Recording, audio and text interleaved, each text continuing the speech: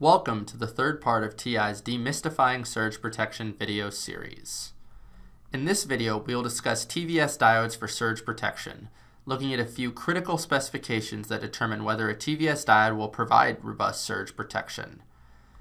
If you don't have a background in the fundamentals of TVS diodes, please take this time to watch TI's ESD Essential video series before you complete this video.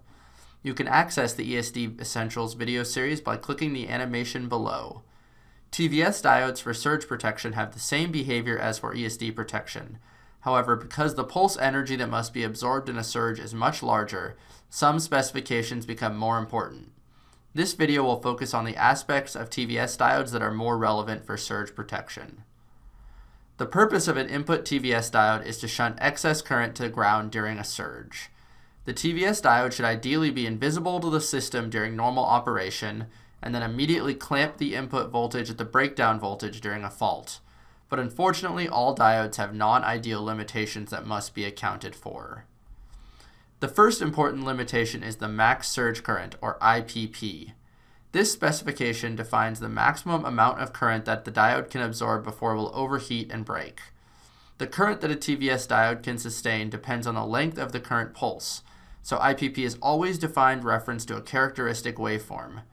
Sometimes this reference waveform is the 20 microsecond waveform defined in IEC 61000-4-5, but more commonly it's a 1000 microsecond waveform used for specifying TVS diodes. When designing, make sure that a diode IPP is higher than the surge current that must be withstood per the IEC 61000-4-5 tests and that the surge current is in reference to the same waveform you are testing with.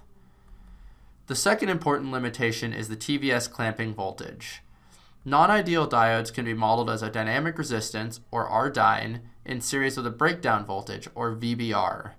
This means that when current flows through the TVS, the measured voltage can rise significantly above the diode breakdown voltage. This voltage is determined by R-dyne and is called V-clamp. V-clamp depends on the current through the TVS, so will always be defined relative to a surge current. V-clamp is the voltage that will be seen by a system during a surge pulse, so even if the diode breaks down well below system tolerance requirements, if the V-clamp is above your IC input absolute maximum, the input of a system can see failures. TVS diode datasheets have a V-clamp specification, again in reference to a specific waveform and pulse current.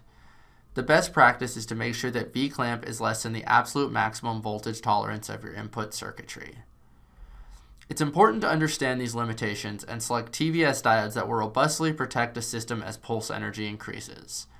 Properly selected peak pulse current and clamping voltage are what make a surge protection stage robust.